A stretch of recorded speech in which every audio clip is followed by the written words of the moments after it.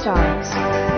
This moisturizes well, but I'm not sure how well it's working on my dark spots. I haven't been using this for too long, but I'm hoping it can fade my dark spots slightly.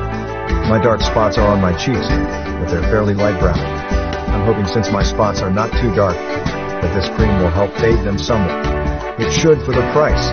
Tip, don't forget that if you're using a retinol cream or serum, that it's important to use a daily sunscreen because the sun can actually be worse on retinol treated skin and cause discoloration. This cream applies easily and moisturizes well. It didn't leave too much of a greasy residue feeling behind. It gets applied at night before bed, so any residue gets washed off in the morning anyways. Overall, this is pricey and hopefully it will work. I'll update later if it doesn't.